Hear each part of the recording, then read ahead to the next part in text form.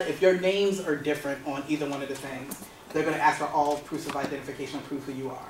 Okay, We're dealing with the government, so a lot of red tape. a lot of red tape. Uh, that sentence down at the bottom, does that say in case of major disasters? No, it says if you are, if you're evacuated, displaced by Hurricane Katrina, Rita, or Wilma. So if you're someone that lived in one, um, and you were affected by one of these, Well, what I'm thinking is that may change with time and. it's gonna, not ch- necessarily it's gonna change, but as of right now, this, this was just taken off their site.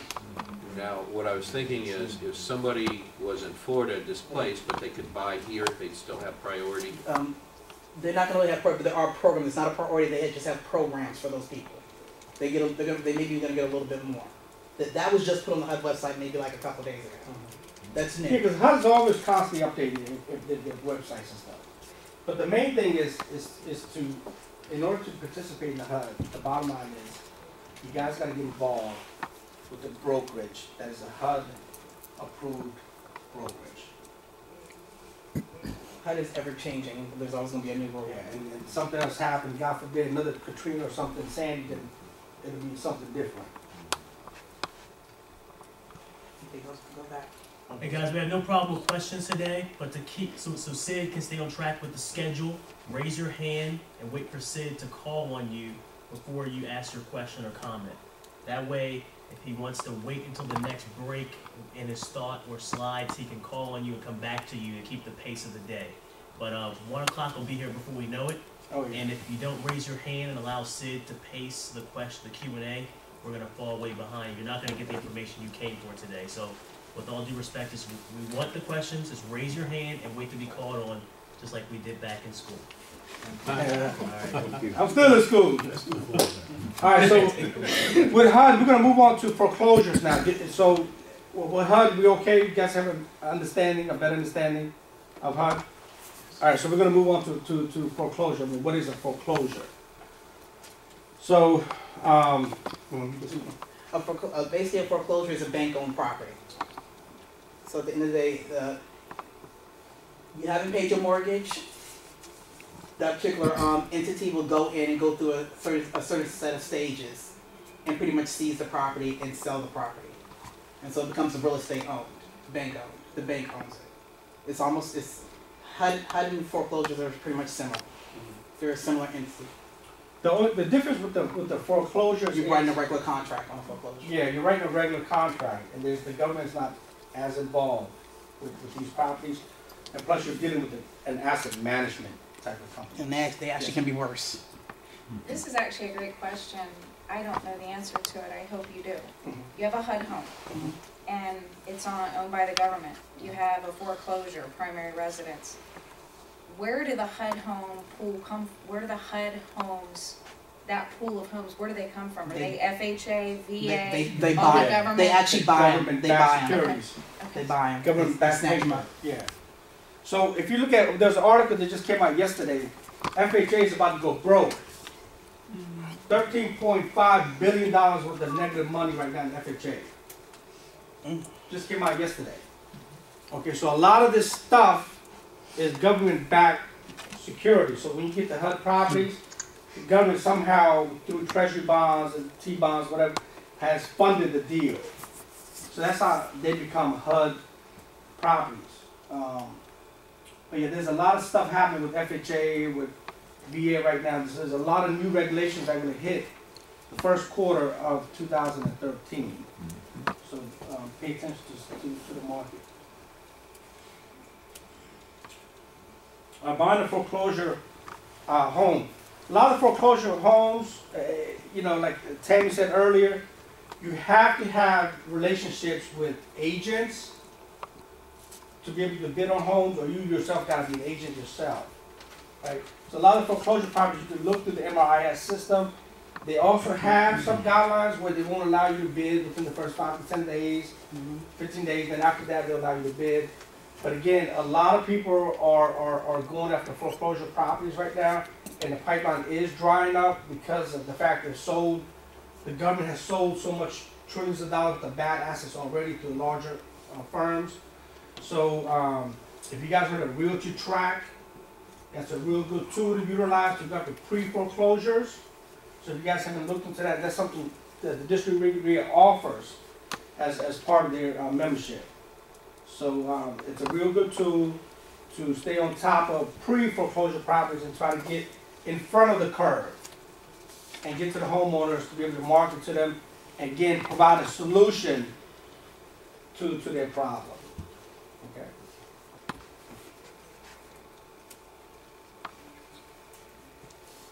How to find a foreclosure home and to buy it. Well,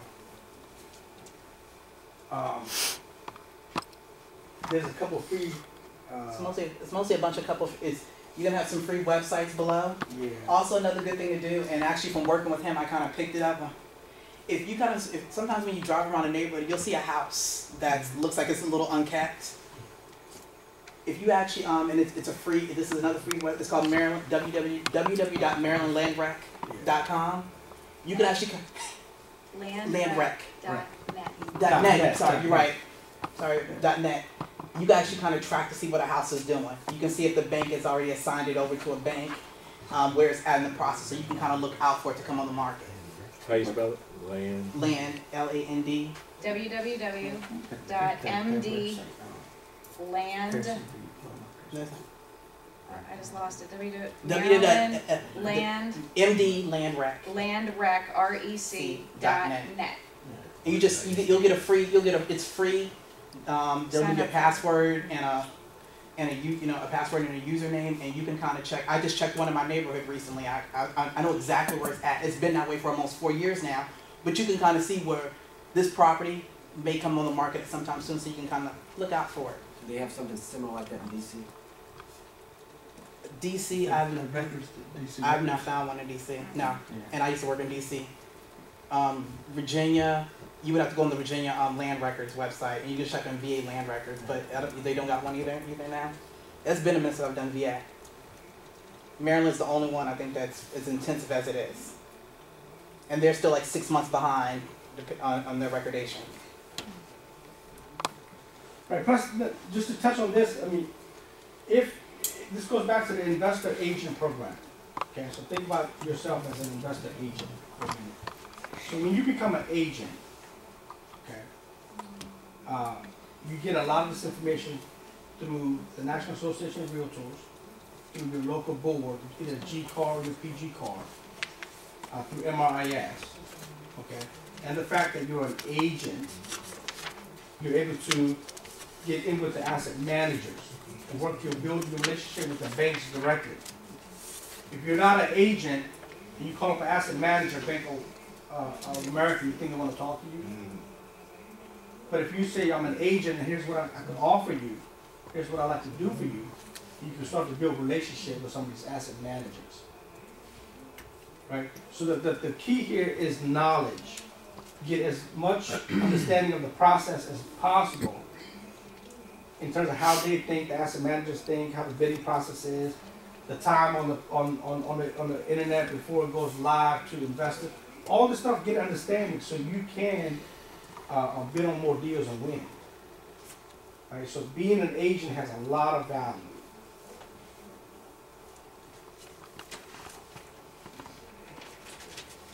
Oh, there it is. So now we can take your Q and A. So Now, these, Questions?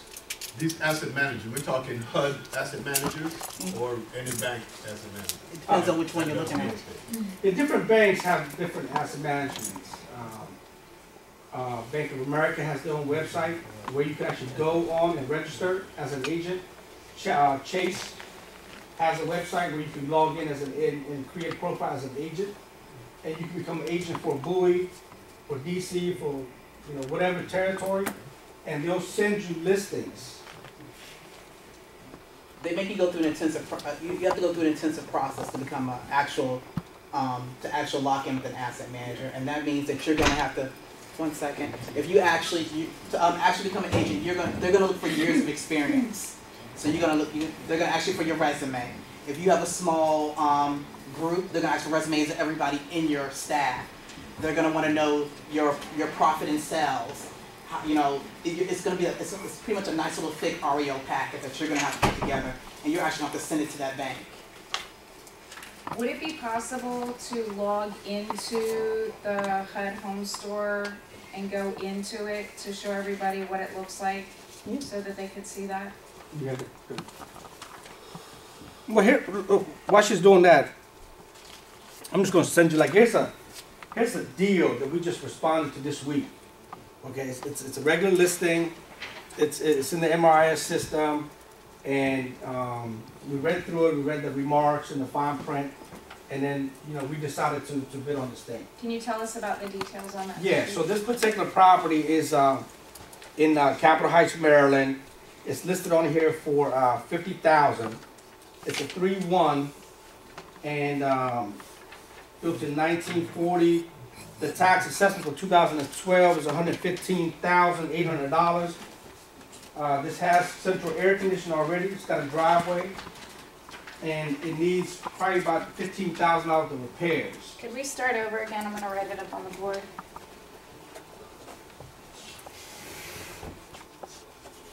It's in Capitol Heights. It's in uh, Capitol Heights, Maryland. It's listed for fifty.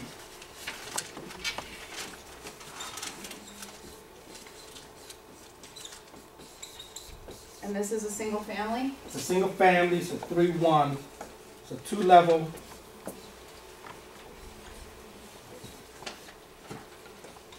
What does it say in the remarks? Come get me.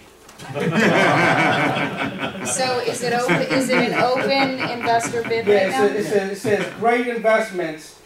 It said this home could be nice with some, uh, carpet and paint and, and little TLC. A true di- uh, true diamond in the rough. A mechanic special, basically. Right. Bring your, bring your best. Anyone that deals with cars, a mechanic special. So what is the total days on market at this point? Uh, this one was, uh, well, when we got it, when we looked at this thing, it was brand new. One.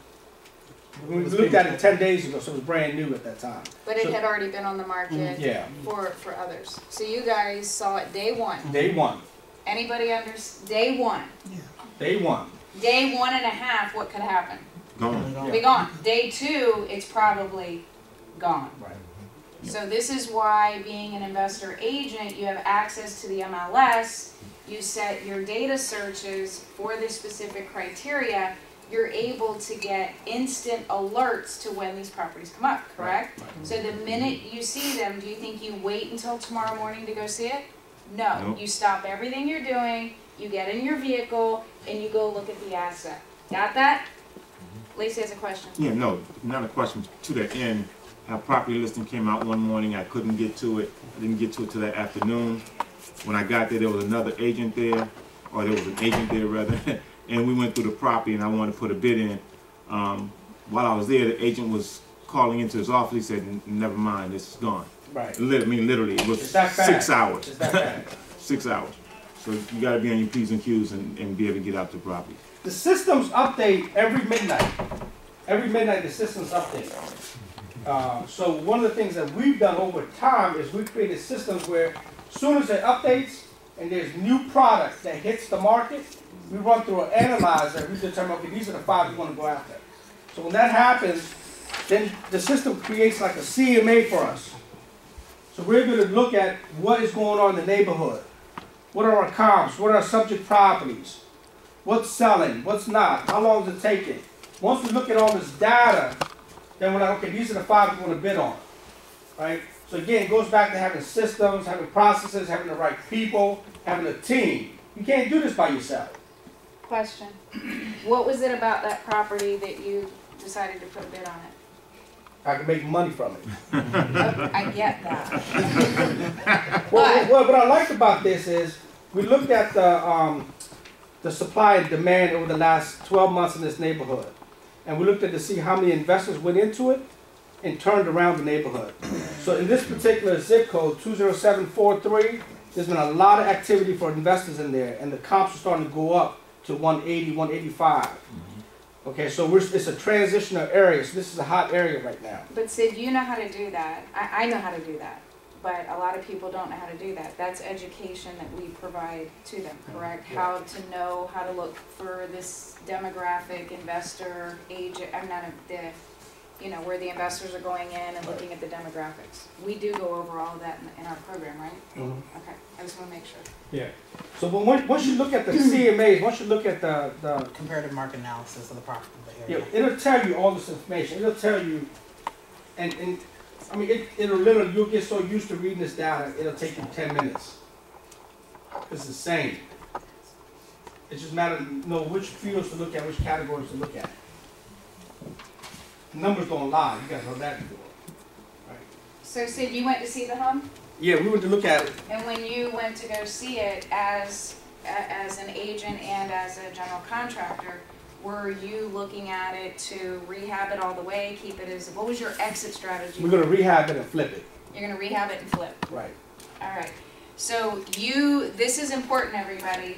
He ha- hasn't even put an offer in on the property yet, but he already knows like that what his exit strategy is, right?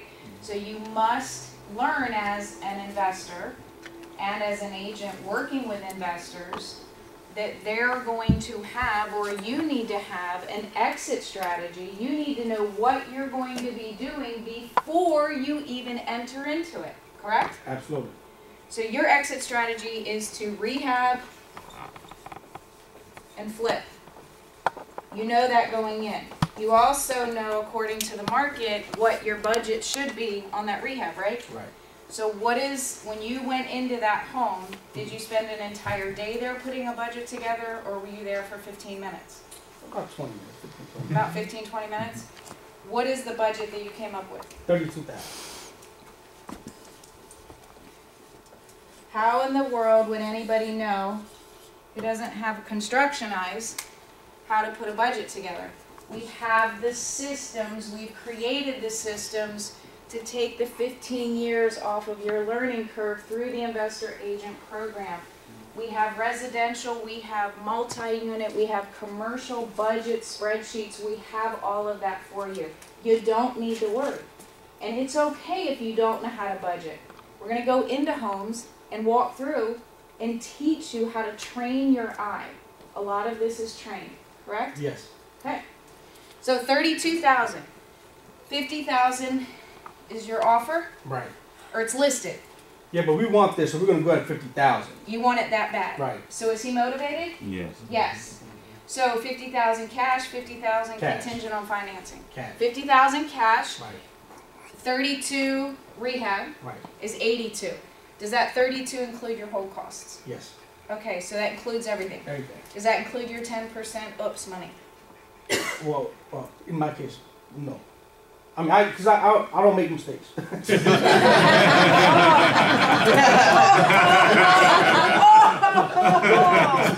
mean, I'm, I'm, I'm very thorough. I, I mean, I'm literally, I take my time. Oops, you're going to add ten percent oops money.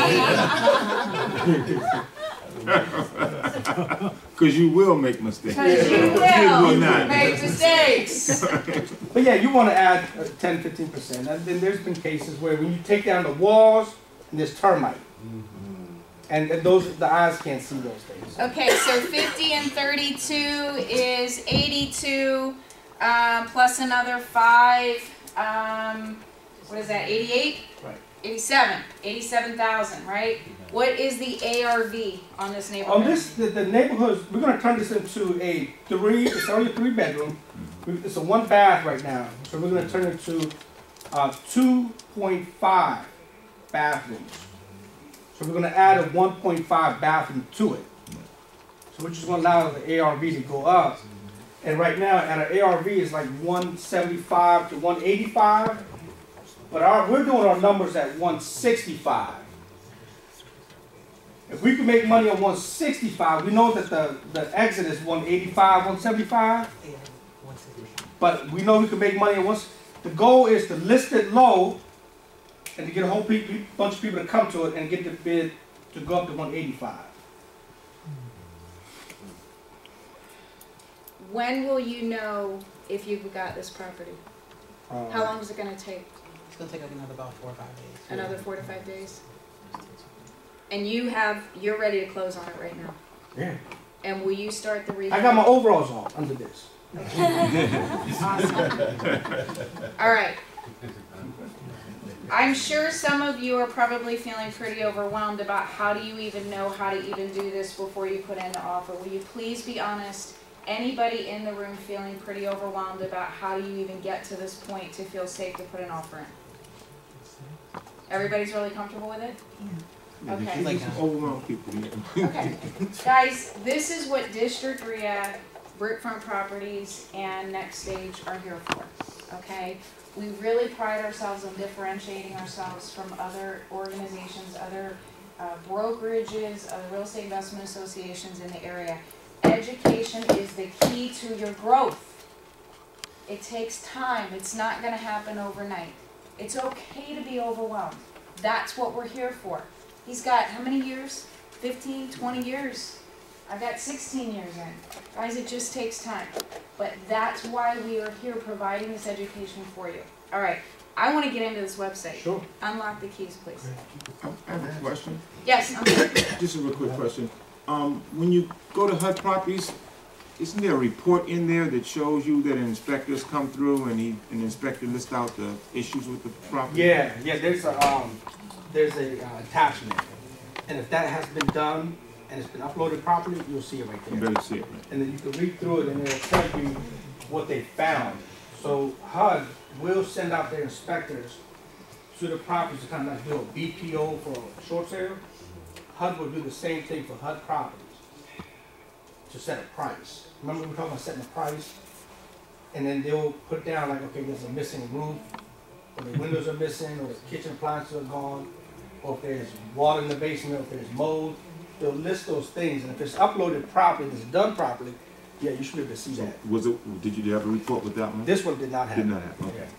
Yeah. So you just. And sometimes when they're brand new, Mhm. once the, the listing is brand new, they haven't had a chance to send somebody out there to do those things. So they, they may, they may not be uploaded. Uh, but if the listing is maybe 20, 30 days old, um, then that information should be there if it's done right. Thank you. So Sid, if I am an investor agent with Next Stage, am I allowed as the investor agent to go into the site or are you only? No, no, you as the agent, as long as your license is hanging on the wall in our office, you can get in.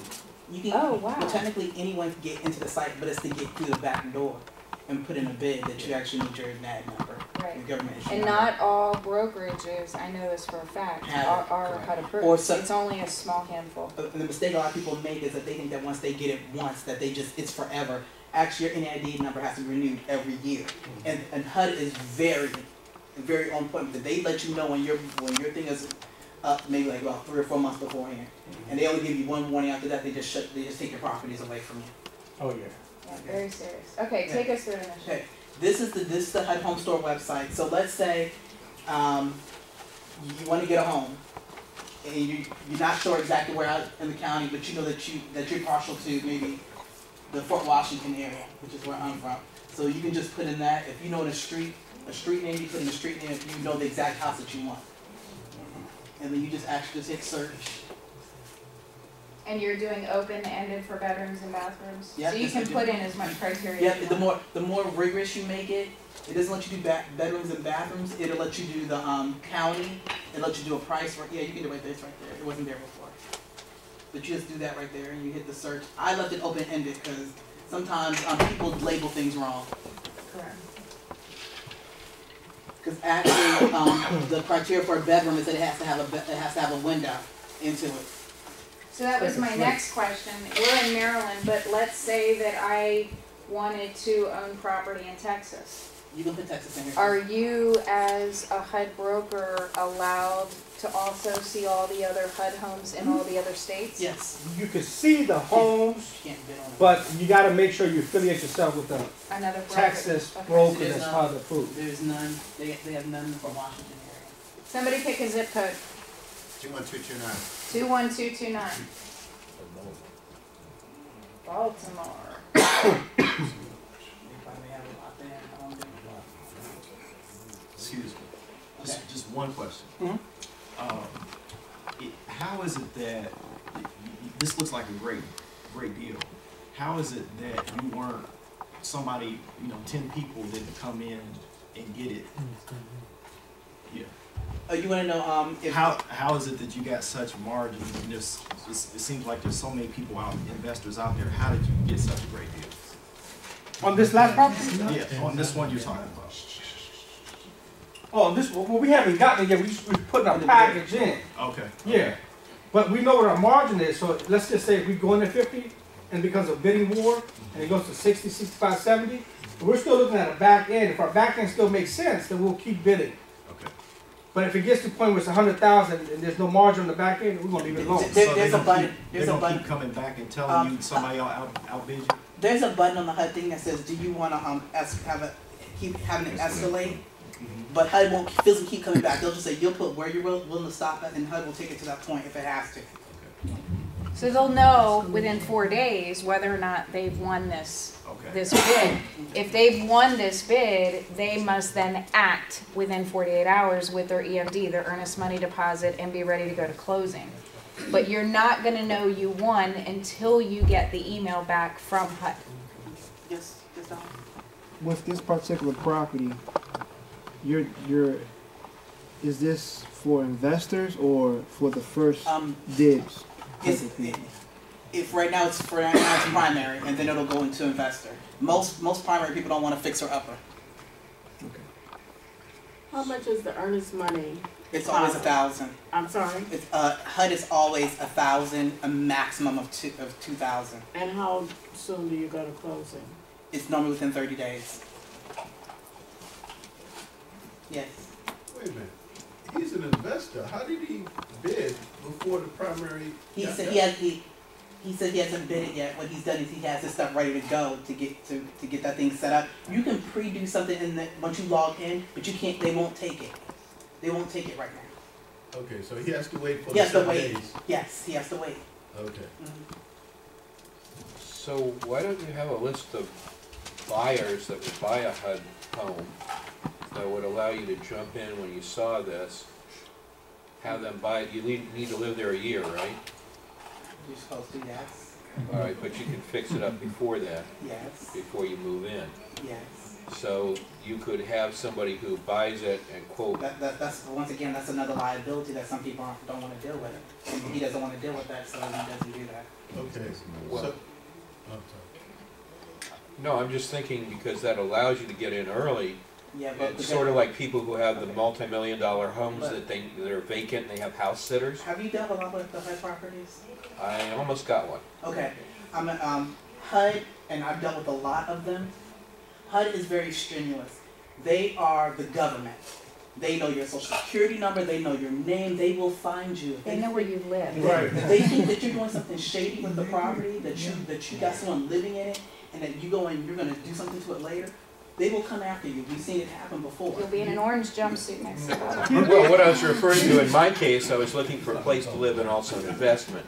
So for me, it made sense to buy it, remodel it, live Oh, in yeah. it a year Yeah, and because then flip you're it. primary, then you can. Yeah. You're, that's different than trying to get someone in it. But, but, well, but what I'm saying is, if you had a list of primaries, yeah, and you know there's a back end on this, you, you're almost Yeah, taking them in as kind of a partner where they're, you- that's that, that's a liability. and he does- that, that's All right, kind you that, those are exit strategies and personal Yeah. choices as, as a, an Yes. investor that you have to take. We need to keep moving on. There's a question in the back. Yes, yeah, I was, it's something similar to that. As an agent, someone comes to Hameed and say, I wanna buy that three bedroom Mhm.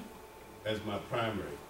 Can he go ahead and submit that bid Yeah, for this a individual? Yes, Yeah. for that, yeah, person, yes. Okay, As the for agent Okay. as for agent. that home buyer. Yes. Yes. Okay, now, if that individual, uh, finances fell through and what have you, okay? Mhm. Can he then take over? He can't take No. over? Okay. Because not his, uh, uh, uh. HUD, it's on the website. HUD controls everything.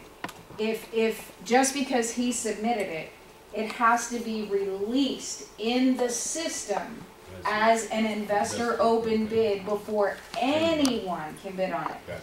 What he has done is he's prepared himself for the moment it goes live, bam, he's there. Okay. He's ready. He's already done his homework. Why? He wants it. So he's ready. And I guarantee you, he will know within seconds that it goes live. Okay. And he'll probably call Anisha, Anisha or Anisha? Anisha. Anisha. I mean, he, I guarantee you, he's got someone on it, and it, it will go in immediately. Okay. Alright, so this is the HUD, so we put in that zip code, and only two properties in that zip code came up. Okay, so let's open one up. We have a three bedroom, two bath, three bedroom, one bath. We'll take a little. Alright, so what is that case number? What is that? That's, that's the actual bid number, so when you get ready to actually bid, it's gonna ask you for that case number. And when you go to